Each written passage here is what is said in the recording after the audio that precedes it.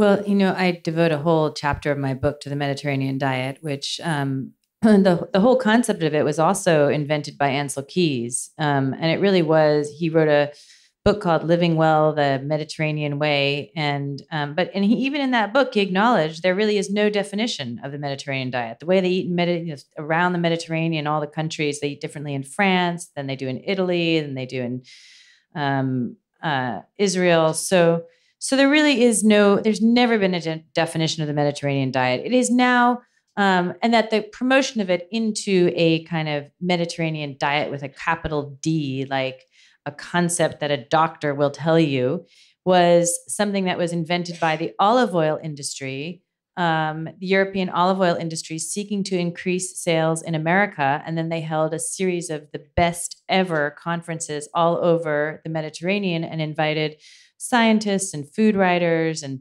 chefs and and uh, and that was from that the Mediterranean diet was born. And then there's a couple pretty dodgy studies that show what do they show? Do they show anything for the Mediterranean diet? What they show, they, they there's two of them.